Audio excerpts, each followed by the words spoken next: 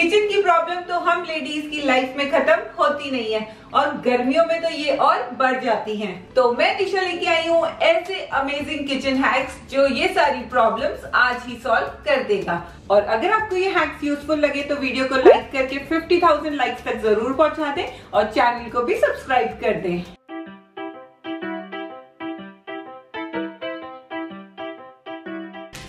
निशा दीदी यार ये मटका है ना बिल्कुल पानी ठंडा ही नहीं करता। मेरे पूरे पैसे बर्बाद हो गए फेंक रही हूँ मैं तो इस मटके को। मत पहले ये बता कच्ची मिट्टी का लाई थी या पक्की मिट्टी का? अब मिट्टी का क्या पता मुझे कि कच्ची थी कि पक्की थी? कच्ची मिट्टी का होता तो कभी भी ठंडा नहीं करता।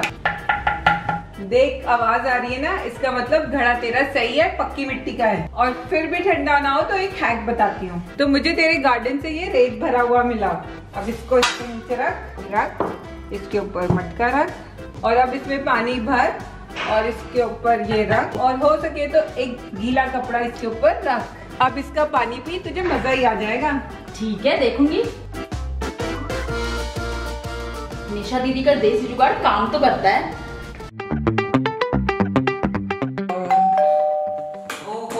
लगता है मेहमान आ गए। अब तैयार हो गया इनके लिए जूस बनाओ एक काम करते हैं। ऐसी सिचुएशन के लिए चाशनी को पहले ही तैयार कर लो। बस डालो पतीले में पानी। चीनी?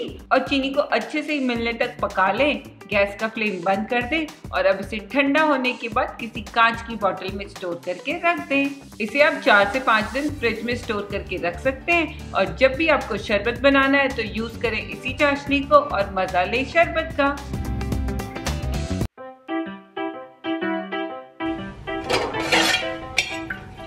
अरे यार दीदी आपके यहाँ का दही तो मुझे गाढ़ा ही नहीं मिलता कभी। अब मेरे भाई को गाढ़ा दही चाहिए तो वो तो अब मिट्टी के बर्तन में ही जमाना पड़ेगा। क्योंकि ये सोख कर लेता है हमारे एक्सेस पानी को और दही जमाने के लिए हमेशा दूध को बिल्कुल हल्का गुनगुना रखें और उसमें डालें थोड़ा सा जामुन और ध्यान रखें जामुन आपका ज़्यादा खट्टा नहीं होना चाहिए।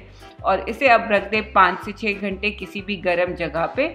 और यहाँ आप खुद ही देख सकते हैं कि कितना गाढ़ा दही जमा है। सॉफ्ट ड्रिंक्स को ज़्यादा दिनों तक फ्रिज में रखने से उसकी गैस चली जाती है और हमें लगता है ये तो खराब हो गई। अब इसे फेंक दें। मैं आपको बताती हूँ कि आप इससे क्या मज़ेदार चीज़ बना सकते हैं। इस बची हुई कोल्ड ड्रिंक को डालें आप किसी भी आइसक्रीम मोल्ड में और इसे फ्रीजर में पाँच से छह घंटे जमने रख दें। इसी तरीके से आप किसी और जूस से भी पॉप्सिकल्स बना सकते हैं। बस पाँच से छह घंटे फ्रीजर में रखने के बाद लो बन गई हमारी बची हुई कोल्ड ड्रिंक से मज़ेदार पॉप्सिकल आइसक्रीम ये बदबू कहाँ से आ रही है? अपनी फ्रिज चेक करती हूँ। ओहो, ये पालक खराब हो गई। गर्मियों में अक्सर हमारी सब्ज़ियाँ खराब हो जाती हैं, खासकर हरी सब्ज़ियाँ। तो इन सब्जियों को खराब होने से बचाने के लिए हमें करना क्या है? हमें लेना है कॉटन का कपड़ा इस तरीके का, उसे हल्का सा गीला कर ले। इसमें हरी सब्जियों को रखकर इसे फोल्ड कर कर इसे फ्रिज में रख दें। और अगर आपको हरा धनिया रखना है तो एक किसी भी कंटेनर में पहले बिछाएँ टिश्यू पेपर उसके ऊपर रखें हरा धनिया और उसके ऊपर फिर टिश्यू पेपर लगाकर ढक्कन लगा दें और इसे फ्रिज में रख दें। इस तरीके से सब्ज़ी को रखने में आप खुद ही देख सकते हैं कि यह अभी तक कितनी फ्रेश है। अगर आप कोल्ड कॉफ़ी के शौकीन हैं और आप उसे ज़्यादा देर फेंट कर नहीं पीना चाहते हैं तो उसके लिए मैं आपको एक झटपट हैक बताती हूँ। उसके लिए आधे कप में मिलाएँ दो से तीन चम्मच कॉफ़ी।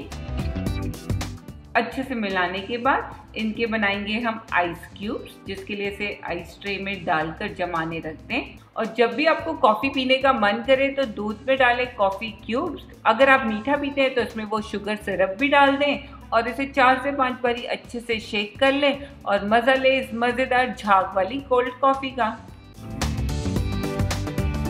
अक्सर आपने देखा होगा, जब भी हम कोई मीठी चीज़, जैसे जूस, शहद को खुला रखते हैं तो उसमें चीटियाँ या मक्खियाँ आ जाती हैं। तो इससे बचने के लिए आप क्या करें? तो उस खुले कंटेनर के ऊपर आप लगाएँ सिल्वर फॉइल को इस तरीके से। फिर इसे सिक्योर कर लें रबर बैंड से। जब भी आपको जूस पीना हो तो आप या तो फॉइल निकाल दें या स्ट्रॉ की मदद से इसे पी लें। तो कैसे लगे आपको ये देसी अमेजिंग किचन हैक्स इन्हें आप भी अपनी लाइफ में ज़रूर ट्राई कीजिए और मुझे कमेंट्स करके बताएँ कि इन्होंने बनाई ना आपकी लाइफ इजी और मैं मिलती हूँ अपने नेक्स्ट वीडियो में। तब तक के लिए take care and bye bye